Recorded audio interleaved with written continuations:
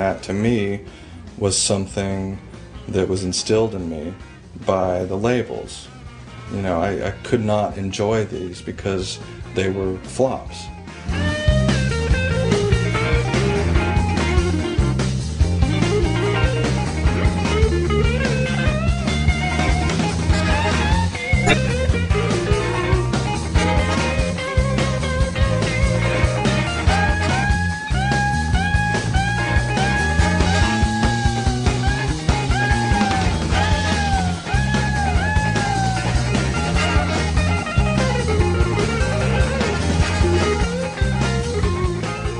When Clapton called me, he had received a copy of my album from my manager, and uh, he just he fell in love with it. He was on tour in Japan, but he called me and said, "Jellycream is my favorite album in the last five years, and I love the songs. I love you as an artist." And you know, that's sort of that's where our friendship began, and um, it was just interesting because that lifted me that I had one of the most valid artists of all time saying this is a great piece of work. Just, it gave me a lift, and I think from that point on, my self esteem as an artist has been uh, a lot better. You know, I'm really strong now.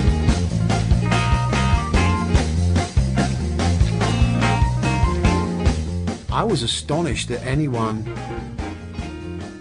uh, uh, in this day and age was was playing that way. And it's like, oh well, thank God, you know, someone, some young guy is playing like that.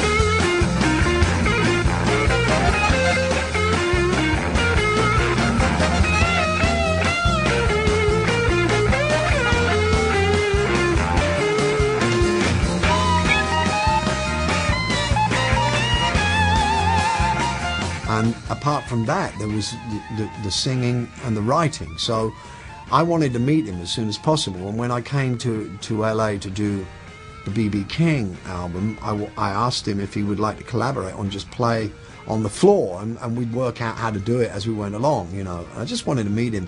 And he's the real thing, you know. I mean, the first thing I, I noticed physically was he had Lightning Hopkins tattooed on his arm. And I mean, that's a serious commitment for a start, you know. And uh, and I just had tremendous respect for him from the from the word go. And and he can play.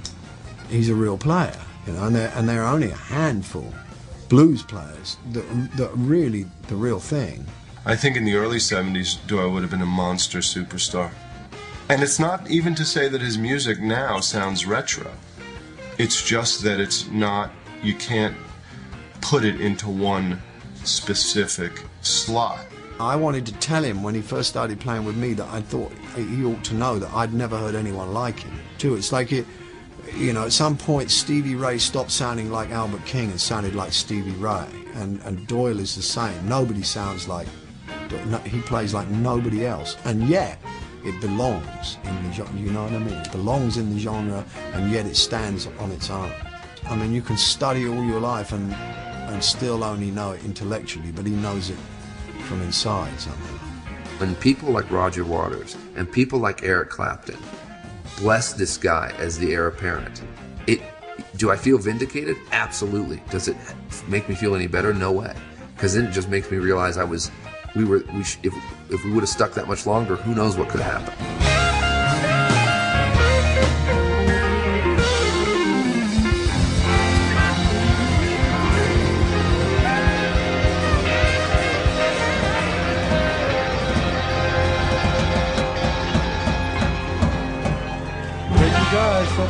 coming out tonight. We've had so much fun with all our guests, Mika and Eric. Thank you, Eric.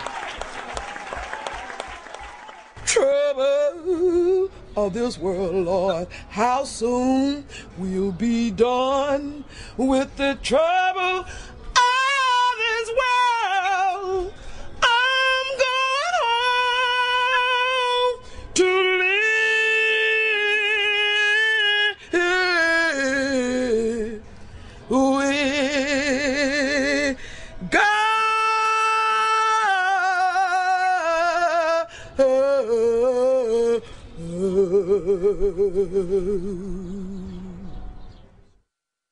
The people who were uh, signing artists and running record labels in the, in, in previous eras had the respect of artists. They could talk to artists about the nuts and bolts of music. They were often musicians themselves. They often understood the dynamic of how to make music that moves people.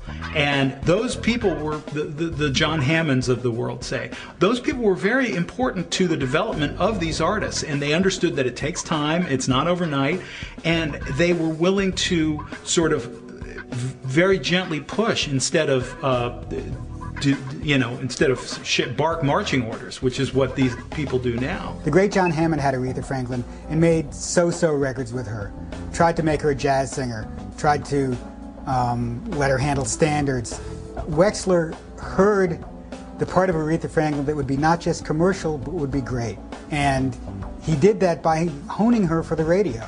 He did that by, by not trying to slot her into an old formula, but by realizing that, that she could do something new that, that would still jump out of the radio. But you don't look for great artists when you're an A&R guy. Your primary goal is to keep yourself from getting fired.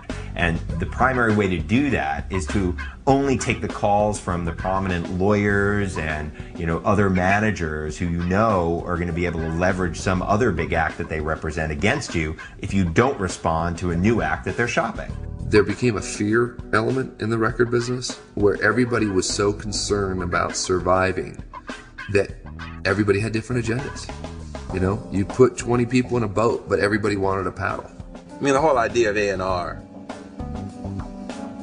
artist and repertoire, that's what it means. In the 40s, Frank Sinatra said, I want to do records. So these guys would run around and meet songwriters.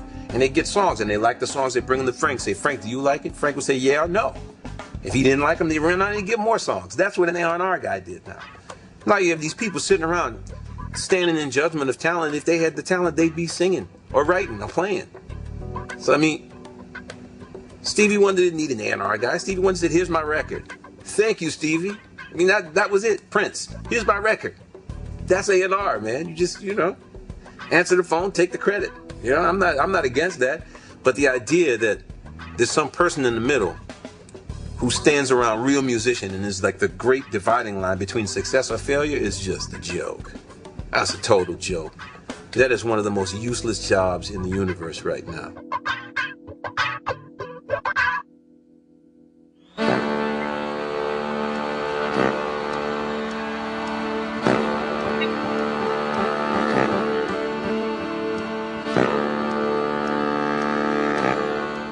Virtually all of the important music that that lasts, that lingers, that sells those 10 million copies of albums is not formula music. It's crazy music. It's the Pink Floyd Dark Side of the Moon. It's the Beatles. It's Led Zeppelin. It's stuff that was out there.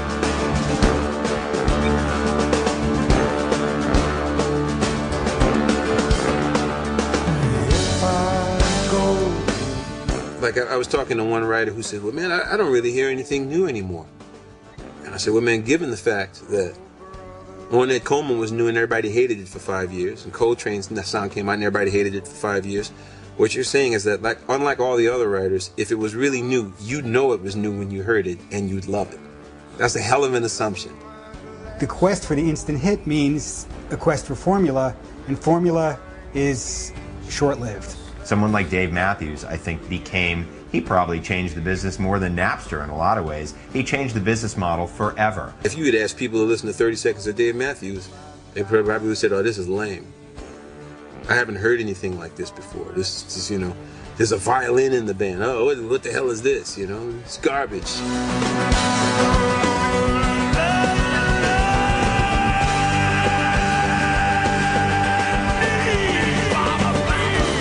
You had a lot of people saying, this is not radio music. It's not going to do well. We don't test very well in markets, uh, radio markets, but then eventually they get on because people, after listening to the record for six months, call the radio and say, "Would you, would you play that song again?"